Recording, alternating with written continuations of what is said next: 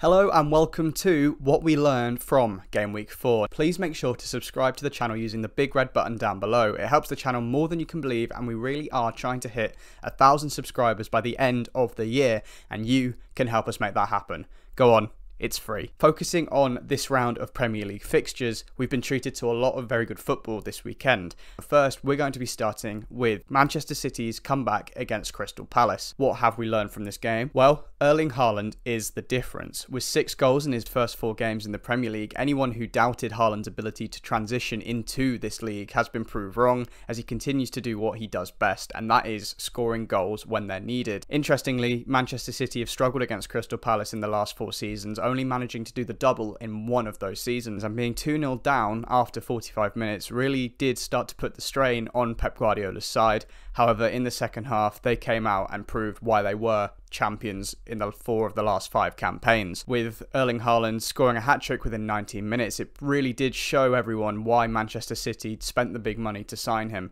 and it's starting to look a little bit more like a bargain as each week progresses. There was absolute dominance from Manchester City in this game, recording 74% possession and keeping them at the top of the charts for average possession in the Premier League. Yet again, it showcased Pep Guardiola's ideology and just how good this Manchester City side is, with the resilience and the mentality to come back from 2 0 down. It's looking like it will be another business as usual season for Manchester City, but we'll keep an eye on it as the weeks progress. So, secondly, we go from Manchester to Merseyside and focusing on Liverpool's 9 0 demolition of Bournemouth.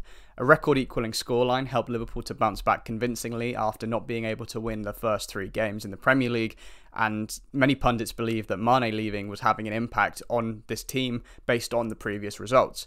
However, with Luis Diaz opening the scoring with a wonderful header after three minutes, these fears were put to bed. Goals from Harvey Elliott, Trent Alexander Arnold, Roberto Firmino, and Virgil van Dijk led to a 5 0 scoreline at half time, just showcasing the dominance that this Liverpool side had on the day. As the second half got underway, the Liverpool team came out and started in exactly the same way that they did in the first, scoring within the first minute through a Chris Mepham own goal following a Trent Alexander Arnold cross. This was then followed up by goals from Roberto Firmino again, Fabio Carvalho, and Luis Diaz scoring again to make it 9 0 at the end of the 90 minutes. Credit must go to Roberto Firmino in this game, scoring 2 and assisting 3. He really did have a 10 out of 10 game, a phenomenal performance for a player that many thought may have had his best days behind him in the Premier League. So, what have we learned? Well, we've learned that despite this performance coming against a weak Bournemouth side, Liverpool do still have the quality in their squad that they've showcased over the last few seasons, and it's hopeful for many Liverpool fans that this performance is exactly the catalyst they need to start an offensive to get back to the top of the Premier League. Sticking with the Merseyside clubs, we're going to focus on Everton now, and I think it's clear that Lampard needs backing, otherwise, the time could be running out for the Everton manager. Despite scoring the opening goal in their last game, Everton have now failed to win any of their opening four Premier League games.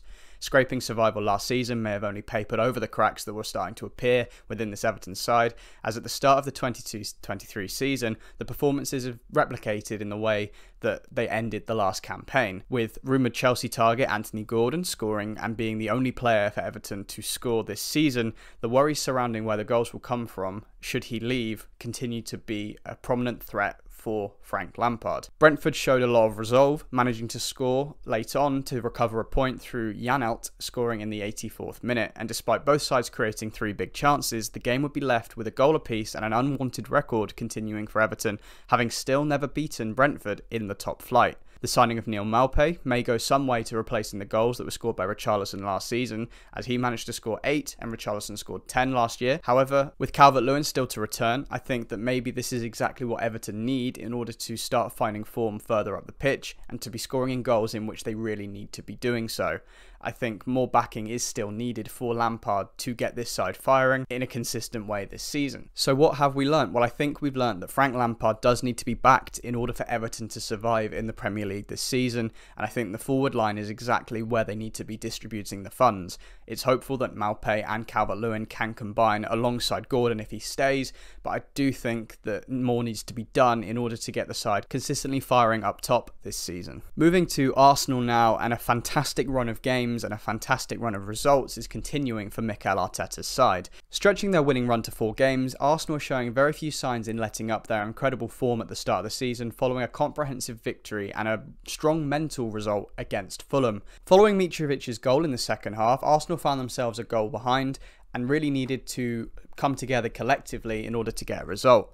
This result did come through in the end, with the first goal of the comeback scored by Martin Odegaard albeit fortunate following a deflection off of the Fulham defender. This was absolutely deserved as the attacking momentum shows they were on top for the majority of this game. Following an even higher level of attacking momentum, the Gunners would then go on to win the game with Gabriel redeeming himself for his earlier mistake and poking in a winner following a corner right at the end of the game. What became apparent for me in this game is that Arsenal, despite being so young, showed an incredible level of maturity to remain composed and to come back against a very well coached Fulham side. On top of this, there were also quite a few positives to take following a very strong performance due to Arsenal having 72% possession, 8 shots on target with an XG of 2.52, showing that the chances they took in the end were vital for the win.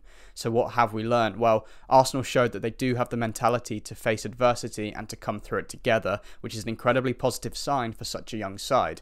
If these players stay together for a long amount of time, I can imagine there will be some very happy days for Arsenal fans as the seasons progress. Finally, we come to West Ham now, and I think that this result was needed for David Moyes and his side. Emerging victorious against an Aston Villa side that have really struggled to get going this season, I think that the Fornals goal for the three points is something that David Moyes will be very happy to have received. Looking at the way in which they played, the first half certainly wasn't vintage by any standards as Aston Villa seemed to dictate the tempo. However, when you don't make your chances count, that's when West Ham can be the most dangerous, and this was proven when a long range shot managed to catch out the keeper into the back of the net. So, what have we learned? Well, with West Ham season up and running, I do think they need to start finding a little bit more consistency, and I think they need to start progressing the play a little bit more up the pitch, as they didn't record a single shot on target in the first half. The improvements need to start coming thick and fast for David Moyes' side, and this West Ham team need to show what they really are about, like they did last season. So moving on to the final part of the video, and thanks to Luis Diaz, my FPL team is starting to look a little bit better this week. So who would I recommend you pick for next week? Well, I think due to these games coming very quickly and happening in the middle of this week, I would pick Pedro Neto, as due to his price dropping from 5.5 to 5.3, he now becomes a little bit more of a financially viable asset for your Premier League team. I think with the game against Bournemouth coming up and the performance that Bournemouth put in last time out, this could be the perfect place for him to start getting his season underway and could act as the boost that he needs and the confidence should he get on the score sheet. So for me, I think Pedro Neto is your choice for game week 5 of the Premier League. So that concludes what we learned from game week 4. I hope you enjoyed the video. If you did, please remember to drop a like down below. It really does help. And if you do want to see more of this, please remember to subscribe to the channel. Remember, we are trying to hit a thousand subscribers and you can help us make that happen. Thank you very much for watching, and we'll see you at the end of the week for what we learnt from game week 5.